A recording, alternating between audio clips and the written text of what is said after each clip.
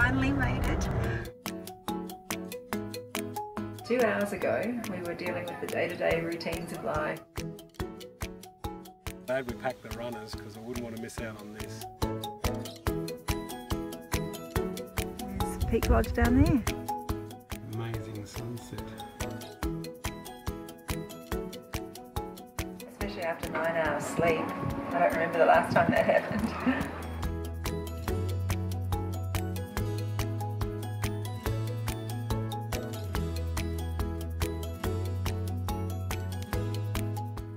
How was that? Very amazing.